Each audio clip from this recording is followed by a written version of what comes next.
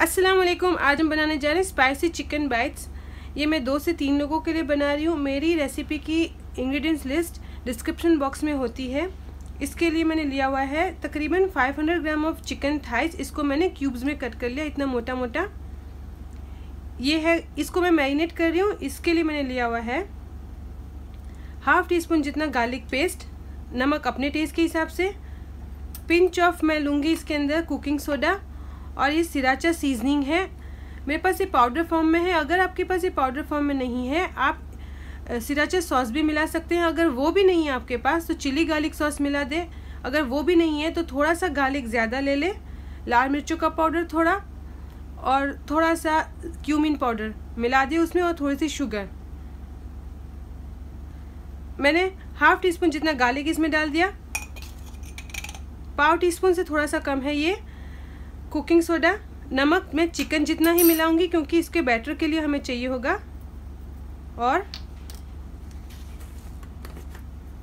और ये जो हमारी सिराचा सीजनिंग है, ये मैं वन टीस्पून जितना पूरा भर के डालूँगी।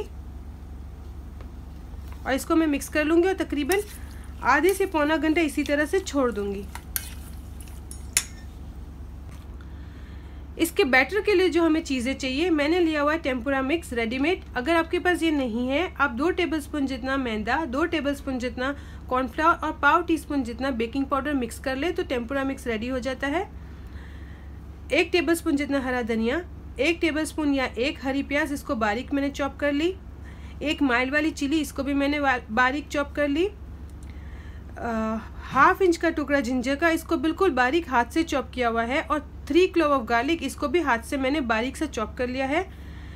हाफ़ टी स्पून जितना साबुत वाला ज़ीरा half teaspoon black pepper powder और एक एग इन सबको मैं मिक्स कर लूँगी और इसका बैटर रेडी हो जाएगा।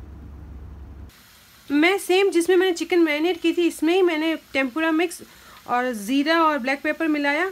ये सारी चीज़ें मिला के एग मिला के इसको मिक्स कर लूँगी तो इसका बैटर भी रेडी हो जाएगा इसी के साथ।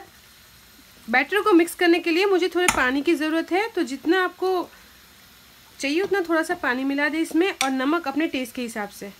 मैंने ऑयल गर्म कर लिया है, अब मैं इसको वन बाय वन इसमें डाल दूँगी और इसको इस तरह से मैं मिलाऊँगी कि ये ओवर क्राउडेड नहीं हो, वरना ये सौगी हो जाएँगे। तो थोड़ा दूर दूर करके मैं इसके अंदर डाल दूँगी और इसको डीप फ्राई कर लूँगी।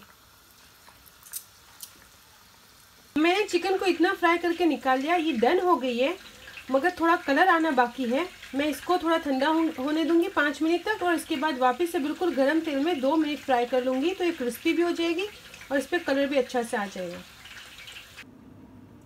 ये रेडी है हमारी स्पाइसी चिकन बाइट्स ये आप सॉस के साथ सर्व करें, बहुत मज़े की लगेगी। आई होप आप ट्राई करेंगे, आपको ज़रूर से पसंद आएगा। Thanks for watching